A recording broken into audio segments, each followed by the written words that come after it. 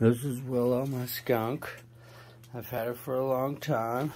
As you can see by the size of her compared to my foot. She's a big girl. Nice and fat. She loves bacon. Oh, Mama, are you eating some bacon tonight? Yeah, she loves bacon, being fat, and big scrubbins. She's a good girl. And that's Willow. Some people wonder, oh, does she stink? Oh, does she get along with the animals?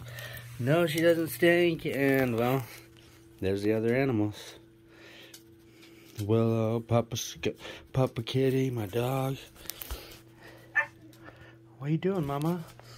See, now she's going to come over for some lovin's. For some lovin's. Anyway, that's it.